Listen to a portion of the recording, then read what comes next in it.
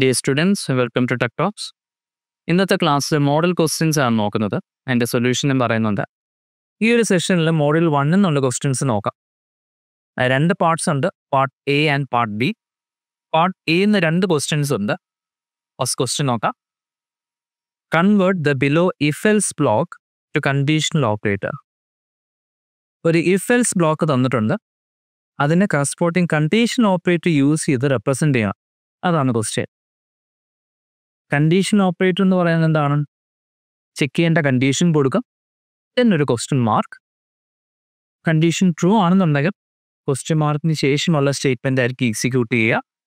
False ആണെന്നുണ്ടെങ്കിൽ lock colon അതിനുശേഷം false ആയി കഴിഞ്ഞാൽ ഏത് എക്സ്പ്രഷൻ അല്ലെങ്കിൽ ഏത് സ്റ്റേറ്റ്മെന്റ് ആണ് എക്സിക്യൂട്ട് ചെയ്യേണ്ടത്? ആ ഒരു എക്സ്പ്രഷൻ അവിടെ കൊടുക്കും നമുക്ക് മാപ്പ് ചെയ്യാം. First if condition if condition എന്താണ്? ഫസ്റ്റ് ചെക്ക് നമുക്ക് ഇങ്ങനെ കൊടുക്കാം. First check then condition check ചെയ്യുന്നതിന് വേണ്ടിയിട്ട് ഇങ്ങനെയാണ് റെപ്രസെന്റേഷൻ ആ ഒരു ഓപ്പറേറ്റർ ഇതാണ്.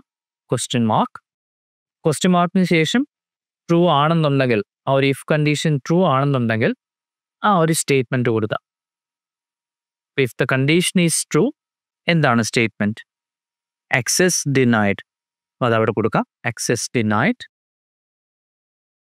then else block. അവിടെ ശ്രദ്ധിക്കുക എൽസ് ബ്ലോക്കിനകത്ത് മറ്റൊരു ഇഫ് എൽസ് ബ്ലോക്ക് ഉണ്ട്. അപ്പോൾ നമുക്ക് ഇങ്ങനെ കൊടുക്കാം.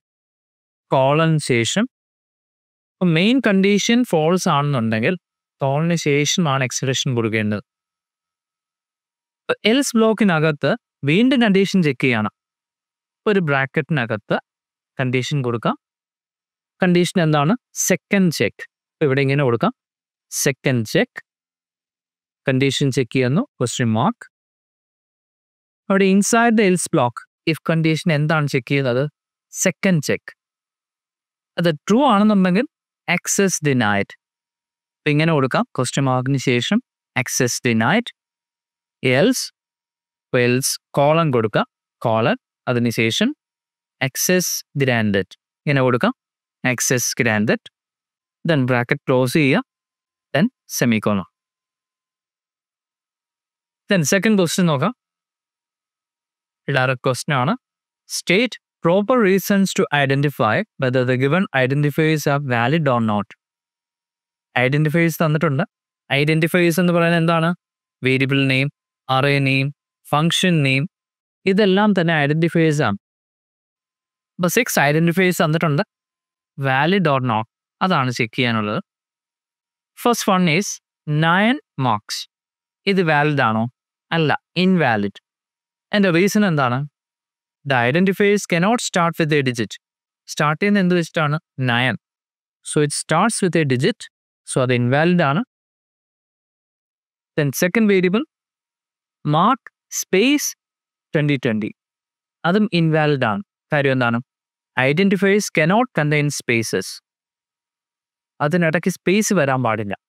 നമുക്ക് വേണമെന്നുണ്ടെങ്കിൽ കുറച്ച് മീനിങ് ഫുൾ ആയിട്ട് കൊടുക്കുമ്പോൾ ഇത് സ്പേസിന് പകരം അണ്ടർസ്കോർ കൊടുക്കുക മാർക്ക് അണ്ടർസ്കോർ ട്വന്റി ട്വന്റി അത് വാലിഡാ ബട്ട് സ്പേസ് കൊടുക്കാനായിട്ട് പാടില്ല. So it is invalid then third one V four bot അത് വാലിഡാണ് സ്റ്റാർട്ട് ചെയ്യുന്നത് ലെറ്റർ വെച്ചിട്ടാണ്. ദെൻ അതിനിടയ്ക്ക് നമ്പേഴ്സ് വരാം. അത് കുഴപ്പമില്ല. It starts with a letter and contains only letters and digits അത് അലൗ ചെയ്യുന്നുണ്ട്. So it is valid next one underscore C S department അത് വാലിഡ് ആണ്. അണ്ടർസ്കോർ വെച്ച് സ്റ്റാർട്ട് ചെയ്യാം. അത് വാലിഡ് ആണ്. Identifiers can start with an underscore correct ആണ്. Next one at the rate C S C ഇത് ഇൻവാലിഡ് ആണ്. കാര്യം എന്താണ്? because these special characters they are not valid character for identifiers so the invalid ആണ്. next one a small letter x capital letter b. അതും valid ആണ് it can contain letters letters എന്ന് പറയുമ്പോൾ small ലെറ്റേഴ്സും capital ലെറ്റേഴ്സും വരാം. So it is valid then part B first question ഇതാണ്. Right is ഈ program to check if a given number is a strong number or not so എന്താണ് strong number strong number is a number അതും ക്വസ്റ്റിൽ തന്നിട്ടുണ്ട്. Strong number is a number in which the sum of the factorial of the digits is equal to the number itself. ആ ഒരു example നോക്കാം. One forty five നിങ്ങൾ കൊടുക്കുന്ന number one forty five അതിൽ ഓരോ ഡിജിറ്റ് ആയിട്ട് പിക്ക് ചെയ്യുക first digit ones പ്ലേസിലുള്ളത് ഫൈവ് ആണ്. അപ്പോൾ ഫൈവ് ഫാക്ടോറിയൽ എടുക്കുക. പ്ലസ് നെക്സ്റ്റ് ഡിജിറ്റ് ഫോർ ഫോറിന്റെ ഫാക്ടോറിയൽ എടുക്കുക. ദ നെക്സ്റ്റ് ഡിജിറ്റ് വൺ വണ്ണിന്റെ ഫാക്ടോറിയൽ എടുക്കുക. ഈ ഫാക്ടോറിയൽസ് കാൽക്കുലേറ്റ് ചെയ്തതിന് ശേഷം അത് തമ്മിൽ ആഡ് ചെയ്യുക അപ്പോൾ one plus twenty four plus one hundred and twenty which is equal to one forty five നിങ്ങൾ ഇൻപുട്ട് ആയിട്ട് കൊടുത്ത നമ്പറും ഓരോ ഡിജിറ്റ്സ് ആയിട്ട് എടുത്ത് അതിന്റെ ഫാക്ടോറിയൽ കാൽക്കുലേറ്റ് ചെയ്ത് ആഡ് ചെയ്യുമ്പോൾ കിട്ടുന്ന നമ്പറും സെയിം ആണെന്നുണ്ടെങ്കിൽ അത്തരം നമ്പേഴ്സ് ആണ് strong numbers one forty five എന്ന് പറയുന്നത് സ്ട്രോങ് നമ്പറാണ് ഇനി ഇതിന്റെ ലോജിക് എങ്ങനെയാണ്? നമ്മൾ കൊടുക്കുന്ന നമ്പറിനെ ഓരോ ഡിജിറ്റ് ആയിട്ട് പിക്ക് ചെയ്യണം. ഇപ്പോൾ one hundred and forty five first digit five pick ചെയ്യണം. ഫൈവ് എക്സ്ട്രാക്ട് ചെയ്യാം. എന്ത് ചെയ്യാൻ മോഡുലസ് ഓപ്പറേറ്റർ യൂസ് ചെയ്യാം. One forty five modulus ten അതിന്റെ മീനിങ് എന്താണ്? One forty five divide by ten integer division ചെയ്യും. ദെൻ അതിന്റെ റിമൈൻഡർ എന്ത് വരും? ഫൈവ് പെർഫെക്റ്റ് ആയിട്ട് ഡിവൈഡ് ചെയ്യുമ്പോൾ one forty five divide by ten remainder five വരും ഇപ്പോൾ ഫൈവ് മോഡുലസ് ടെൻ കൊടുത്തു ലാസ്റ്റ് ഡിജിറ്റ് നമുക്ക് പിക്ക് ചെയ്യാം. ദെൻ അതിന്റെ ഫാക്ടോറിയൽ കമ്പ്യൂട്ട് ചെയ്യാൻ നമുക്കറിയാം. അതിന്റെ ഫങ്ഷൻസ് എല്ലാം നമുക്ക് എഴുതാനായിട്ട് അറിയാം. ഫാക്ടോറിയൽ ഫങ്ഷൻ യൂസ് ചെയ്യാം. ദെൻ അതിനുശേഷം എന്താണ്?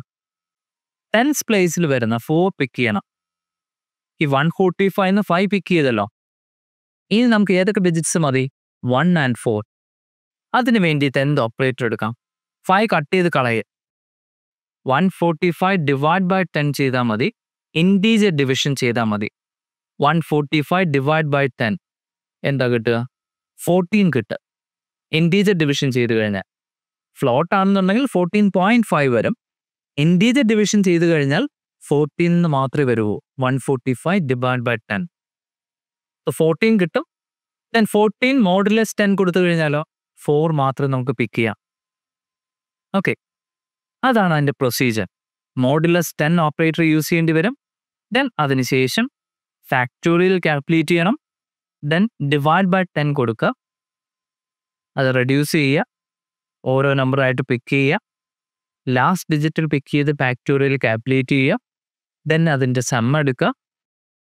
ഇൻപുട്ട് കൊടുത്ത നമ്പറും ഈ സമ്മ എടുത്ത നമ്പറും ഈക്വൽ ആണോ എന്ന് ചെക്ക് ചെയ്യുക. ഈക്വൽ ആണെന്നുണ്ടെങ്കിൽ സ്ട്രോങ് നമ്പർ എന്ന് പ്രിന്റ് ചെയ്യുക. Else it is not a strong number അങ്ങനെ പ്രിന്റ് ചെയ്യുക. ഇതാണ് എന്റെ ലോജിക് ഞാനിവിടെ പ്രോഗ്രാം എഴുതിയിട്ടുണ്ട്. ഫാക്ടോറിയൽ ഫംഗ്ഷൻ ഡിഫൈൻ ചെയ്തു. ദെൻ മെയിൻ ഫംഗ്ഷനകത്ത് ഒരു നമ്പർ അക്സെപ്റ്റ് ചെയ്യുന്നു. കണ്ടോ അവിടെ മോഡുലസ് ടെൻ ഓപ്പറേറ്റ് യൂസ് ചെയ്തിട്ട് ലാസ്റ്റ് ഡിജിറ്റ് എക്സ്ട്രാക്ട് ചെയ്യുന്നു. ഫാക്ടോറിയൽ ഫംഗ്ഷൻ കോൾ ചെയ്യുന്നു. ദെൻ സം എടുക്കുന്നു. ലാസ്റ്റ് ഡിജിറ്റ് എടുത്തു കഴിഞ്ഞാൽ റിമൈനിങ് ഡിജിറ്റ്സ് മതി. അതിന് വേണ്ടിയിട്ട് ഡിവൈഡ് ബൈ ടെൻ ചെയ്യുന്നു. ആ ഒരു പ്രോസസ്സ് വീണ്ടും വീണ്ടും എക്സിക്യൂട്ട് ചെയ്യണം. ഒരു വൈൽ ലൂപ്പിനകത്താണ് അത് വരുന്നത്. ഇനി പിക്ക് ചെയ്യാൻ ഒരു നമ്പറും ഇല്ലാന്നുണ്ടെങ്കിൽ ആ ഒരു വൈൽ ലൂപ്പ് എക്സിറ്റ് ആവും.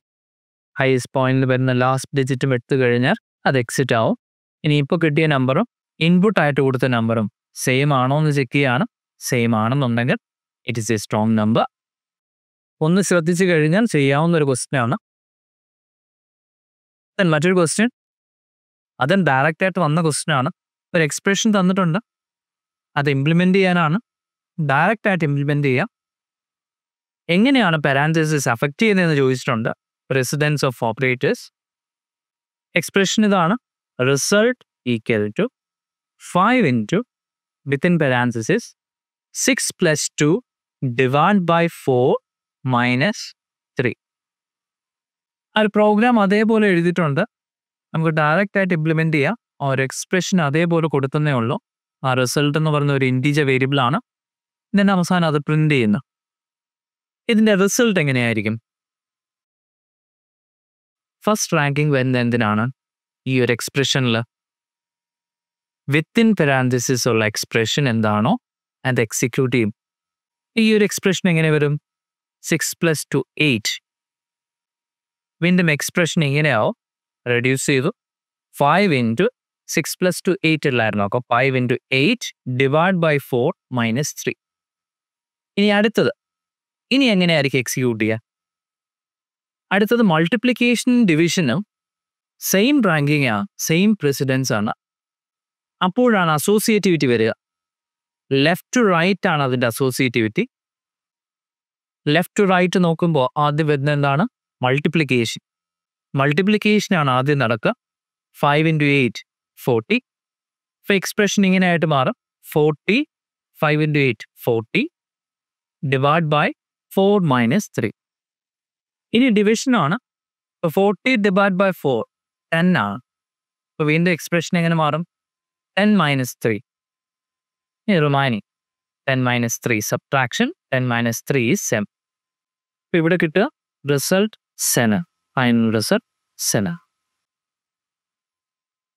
മറ്റൊരു direct question write a C program that reads employees I D name status status ആയിട്ട് കൊടുക്കാൻ പറ്റുന്നത് രണ്ട് ലെറ്റേഴ്സ് ആണ്. F F for full time and P for part time employee status ആണ്. അതൊരു ക്യാരക്ടർ ആണ് അക്സെപ്റ്റ് ചെയ്യാനുള്ളത്. എഫ് അല്ലെങ്കിൽ പി ആൻഡ് ബേസിക് പേ ഒരു എംപ്ലോയിയുടെ ബേസിക് പേ കൂടി അക്സെപ്റ്റ് ചെയ്യണം.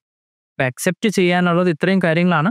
Employees I D employees I D എന്ന് പറയുന്നത് ഇൻഡീജർ ഒരു നമ്പറാണ് അപ്പോൾ അത് integer type then name collection of characters അതൊരു അറയാണ് ദെൻ സ്റ്റാറ്റസ് സ്റ്റാറ്റസ് എന്ത് ടൈപ്പാണ് data type എന്താകാം?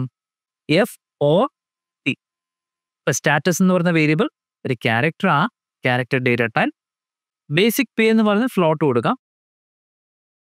Then D and H R A for full time employees they are seventy five percentage and ten percentage of basic pay respectively full time എംപ്ലോയീസിന് D എയും H R എയും കിട്ടും. Basic പേയുടെ seventy five percentage ആണ് D A H R എന്ന് പറയുന്നത് basic പേയുടെ ten percentage then part time employees have basic pay only part time employees ആണെന്നുണ്ടെങ്കിൽ basic pay മാത്രമേ ഉള്ളൂ. Then the total salary of the employee ഇത്രയും കാര്യങ്ങൾ accept ചെയ്യണം.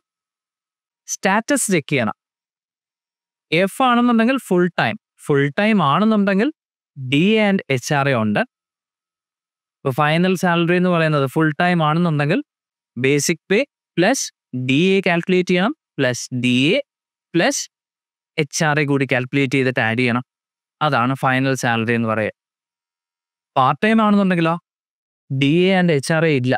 Basic pay എന്താണോ അത് തന്നെയാണ് ഫൈനൽ സാലറി ആ പ്രോഗ്രാം നോക്കി. ഇത്രയും ഡീറ്റെയിൽസ് കളക്ട് ചെയ്യണം. Employee I D integer type name character array status അതും ക്യാരക്ടറാണ് ബേസിക് പേ അത് അക്സെപ്റ്റ് ചെയ്യണം. ഇത് കൂടാതെ മൂന്ന് വേരിയബിൾസ് കൂടി കൊടുത്തിട്ടുണ്ട്. D A H R A and total salary D A initialise ചെയ്തു zero point zero H R എയും സീറോ പോയിന്റ് സീറോ ഇൻഷ്യലൈസ് ചെയ്തു. ദെൻ ഇത്രയും കാര്യങ്ങൾ നമ്മൾ അക്സെപ്റ്റ് ചെയ്യുന്നുണ്ട്. നമ്മൾ കൊടുത്തിട്ടുണ്ട് ബേസിക് പേ കൊടുക്കുന്നുണ്ട്.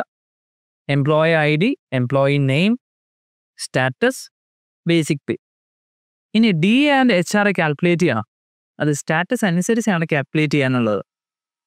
അപ്പോൾ സ്റ്റാറ്റസ് ചെക്ക് ചെയ്യുക ഇഫ് കണ്ടീഷൻ കൊടുക്കുക if status equal to F F means full time നിങ്ങൾ കൊടുക്കുന്ന ക്യാപിറ്റൽ എഫ് ആവാം സ്മോൾ ലെറ്റർ ആവാം. അപ്പോൾ capital F or operator small letter F full time ആണെന്നുണ്ടെങ്കിൽ D and H R calculate ചെയ്യണം.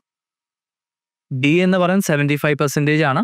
Point seven five into basic pay H R A ten percentage point ten into basic pay ten percentage basic pay into ten divide by hundred on ഇങ്ങനെ കൊടുക്കാം point one zero into basic pay then total salary basic pay plus D A plus H R A full time ആണെന്നുണ്ടെങ്കിലാണ് D A and H R A ഉള്ളത്.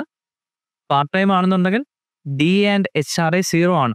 നമ്മൾ ആദ്യമേ initialise ചെയ്തിട്ടുണ്ടായിരുന്നു zero D A zero H R I zero total salary calculate ചെയ്യും. Then അതേപോലെ print ചെയ്യുന്നു. Employee salary details എന്ന് പറഞ്ഞ് print ചെയ്യുന്നു. എംപ്ലോയി സാലറി ഡീറ്റെയിൽസ് അത് പ്രിന്റ് ചെയ്തു. നെക്സ്റ്റ് ലൈൻ ആയിട്ട് എംപ്ലോയി ഐ ഡി അത് പ്രിന്റ് ചെയ്തു. Employee name next line status full time ആണോ പാർട്ട് ടൈം ആണോ ദെൻ ടോട്ടൽ സാലറി അതുകൂടി പ്രിന്റ് ചെയ്തു. പോയിന്റിന് ശേഷം ടു പ്ലേസസ് കൂടി റൗണ്ട് ചെയ്തിട്ടുണ്ട് അതുകൊണ്ടാണ് ഇങ്ങനെ കൊടുത്തിരിക്കുന്നത് percentage point two A okay